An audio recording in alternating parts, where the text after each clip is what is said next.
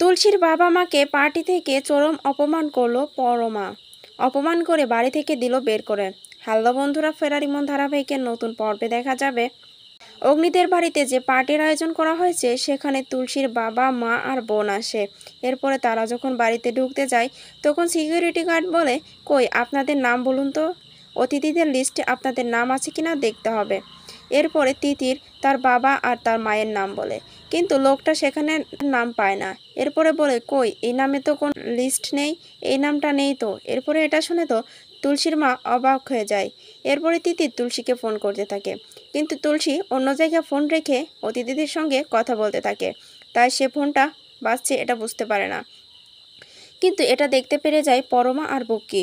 এরপরে পরমা বক্কিকে বলে যে ফোনটা লুকিয়ে রাখ, যাতে তুলসী ফোনটা না তুলতে পারে আর বাইরের কাজ সাজি সব জানতে না পারে।